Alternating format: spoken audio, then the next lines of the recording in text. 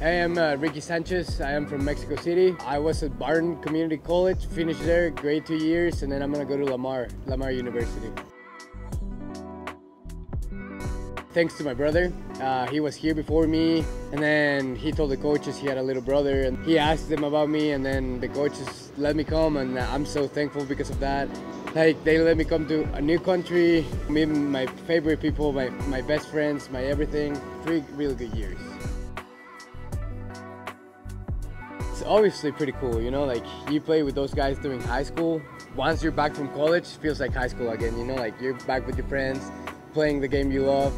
So it's obviously a pretty cool experience too. Like having them around again, it's just like, wow, like I miss these guys. I love playing with those guys. So it's pretty special. One of my best memories is winning the WCBL. We got to do it at home.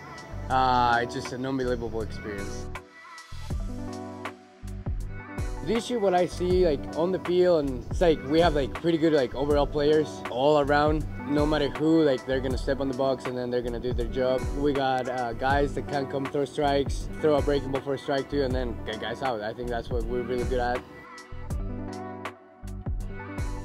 I, I, I have a pretty good feeling. I think uh, we're gonna run it back and I think we're gonna do it again. We're gonna go back to back